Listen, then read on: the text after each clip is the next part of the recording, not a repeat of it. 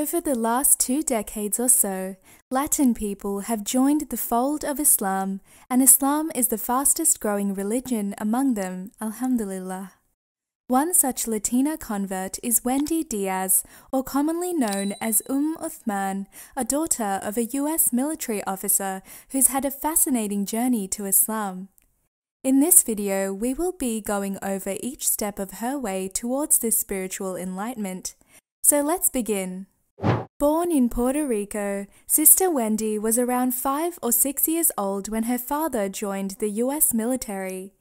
This eventually led her family to settle down in El Paso, Texas.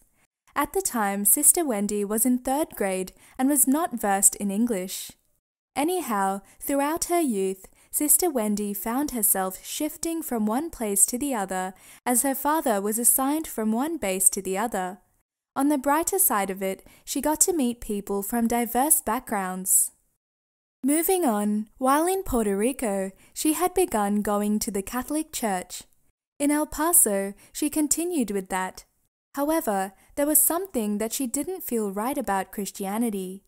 Whenever she entered a church, she would find different statues and paintings of Jesus and Mary staring at her, which she found intimidating. Anyway, then she moved to Alaska where her parents stopped going to church as her mother believed that if they wanted to pray to God, they could do so anywhere. From then on, they stopped going to church anywhere they went. Proceeding forward, by the time her family settled in Maryland, Sister Wendy was fed up with all the moving. She felt a little depressed as she didn't know anyone in that city. At that time, a movie called Malcolm X caught her attention. She was particularly impressed by the protagonist of the movie, which was Malcolm X himself, and that's when her first interaction with Islam came. She bought the whole autobiography of Malcolm X and read it cover to cover. As a result, she learned about nature and the true form of Islam. At that time, a Christian girl lived close by her house who eventually convinced Sister Wendy to come to church with her. At first, Sister Wendy was hesitant due to the statues and pictures that are normally found in a church. But when that Christian girl convinced her that there was nothing like that in the church, she agreed to go with her. Meanwhile, she also met an Egyptian Muslim girl named Hibatullah in her English class in high school whom she ultimately befriended. Besides being interested in each other's cultures, the two of them found common ground in their parents being quite strict. So, on one side, she had started to enjoy going to church, and on the other, she had found a great acquaintance in a Muslim girl. By the way, Sister Wendy only found out that Hibatullah was a Muslim when she met her family. She was greatly impressed by how righteous Hiba's parents were, and especially how they prayed and how her mother covered herself. Accordingly, Sister Wendy went to her Christian friend's father, who is a pastor, telling him about how virtuous and God fearing Hiba's parents are, and asking if they would still go to hell. The pastor stood quiet for a moment or two and then said that if they don't believe in Jesus as their God and Saviour, they would go to hell. Sister Wendy felt really disappointed with the response as she really liked her friend Hibba. So her next question was Are you telling me that all the Jews who died during the Holocaust are also going to hell? The pastor's response was the same.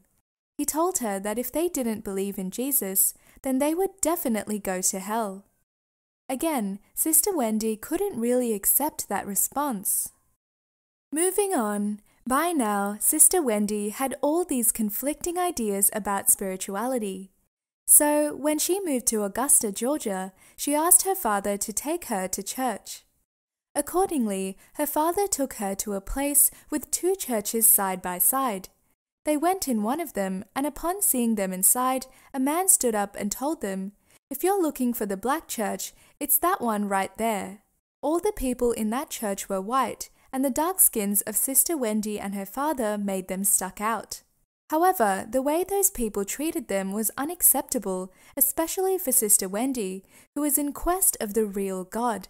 Anyhow, they went to the other church and met a really nice community there, but with that experience, Umm Uthman decided to give up on Christianity. So she asked her father's permission to go and meet her Muslim friend Hibba. Her father agreed and bought her a ticket to Maryland. When she got to Maryland, it was the month of Ramadan.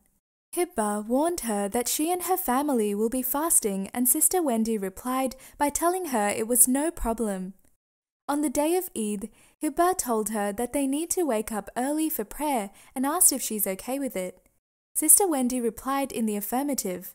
So when they went to a mosque, Hibba asked her to wear a headscarf if she's good with it. Again, Sister Wendy was happy to oblige. One thing led to another, and Sister Wendy eventually ended up saying the prayer by Hibba's side. She basically felt embarrassed being left out of what everyone was doing and told Hibba that she would just follow her actions. Moving on, after the prayer, they went to the parking lot. By the time Hibba had taken off her scarf, she told Sister Wendy to take her scarf off as well, but surprisingly, Sister Wendy replied by saying that she shouldn't as they're still in the parking lot. Anyhow, Hibba and her parents laughed off the situation. It was too early in the morning, so they went back home and decided to take a nap before going out for fun. As Sister Wendy laid on the bed and fell asleep, something kept going in the back of her mind. Something like, Allahu Akbar, Allahu Akbar, La ilaha illallah, and she was like, What is that? It just kept repeating again and again. So she woke Hibba up and inquired about these words. She explained that these words basically mean that Allah is great and that there's no God besides Him. At that time, Sister Wendy didn't feel any sort of spiritual connection with those words and she let Hibba go back to sleep.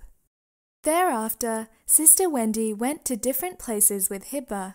She saw Muslims pray for the first time and asked Hibba that why do women pray behind men? Hibba replied, Hello, don't you know if the women were praying in front of the men, what do you think the men would be thinking about? The answer seemed to make sense to Sister Wendy. Thereafter, she kept on asking different questions to Hibba regarding Islam, who always answered them as to her satisfaction.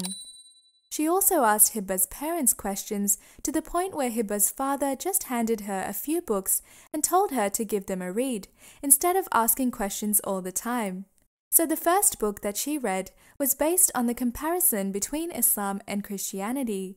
And she says that she found the answers to every single question she ever had about spirituality in that book. Afterward, she started to look for Muslims online. She met a Muslim brother named Fada from Atlanta to whom she inquired about Islam. Fada confirmed her faith in Allah and Prophet Muhammad, peace be upon him, being Allah's last messenger. Then he told her that he would visit her soon and that she would need a few witnesses while she utters her Shahada. Ultimately, in 2000, Sister Wendy said her Shahada and became a Muslim. Right after she uttered her Shahada, Sister Wendy gave Hibba a ring and told her that she has become a Muslim. Hibba was left flabbergasted and called for her parents. They told Sister Wendy to immediately come to Maryland and that Shahada needs to be said in a mosque. Accordingly, she flew to Maryland and said her Shahada three times, as per the Sunnah, in a mosque. Seven years later, Sister Wendy married a Latino Muslim convert, Hernan Guadalupe. Nowadays, she dedicates her life to helping other Spanish speakers learn about the beauty of Islam through her education based organization, Hablamos Islam. Furthermore, she has authored several bilingual children's books about a range of Islamic topics, which have been distributed in countries all over Latin America, Spain, and the US. May Allah shower Sister Wendy with success in all her endeavors. Amin.